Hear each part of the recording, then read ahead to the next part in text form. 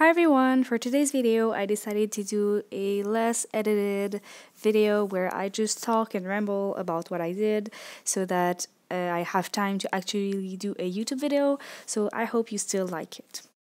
So I did this cool skull mani, which is actually stamping which you'll see uh, in the next part of the video and it glows in the dark which I'll show you at the end of the video. So the first thing I did is apply a peel off base coat to all of my nails since I'm going to be using polygel later.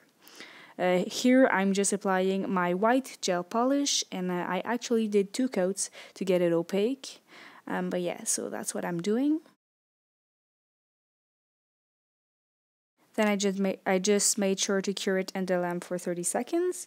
And I got out my poly gel. I let out a little bead.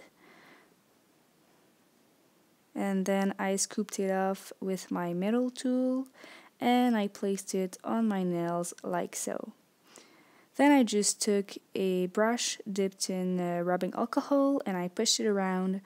Uh, I made sure to get all the sides and to smooth it out uh, to have uh, so this way I wouldn't have to file uh, a lot in the next steps.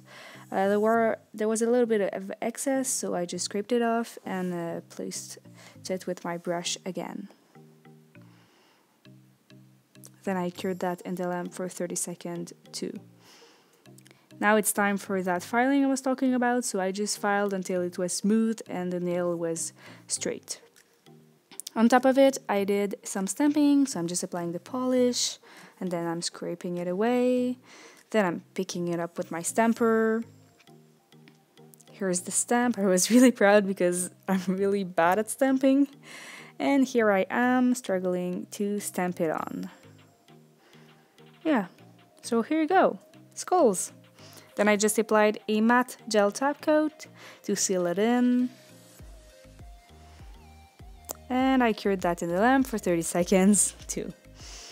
And really, that's it. Now I have a skull mani on my nails, and the best part is that it glows in the dark. Look at that, it's so freaking cool. I really recommend the polygel. The only thing is that it's it only glows in the dark when you put it under a UV light first, so that's the only thing. But regardless, uh, it's really cool, and um, yeah. I hope you enjoyed this video, even though I didn't put uh, a lot of effort into the editing. So please let me know if uh, it doesn't bother you and you still like to watch my videos. And uh, if you liked this one, you can give it a like and comment down below uh, what you thought. And you can also subscribe to my channel for more videos in the future. So I'll see you in the next one. Bye!